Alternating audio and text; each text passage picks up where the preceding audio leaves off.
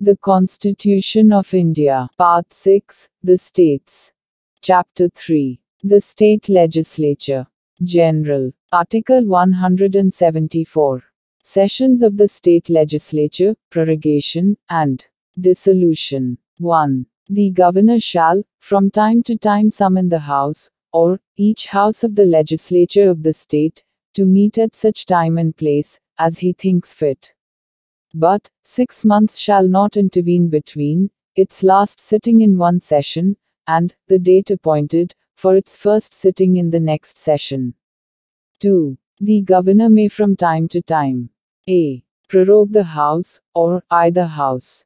b. Dissolve the Legislative Assembly.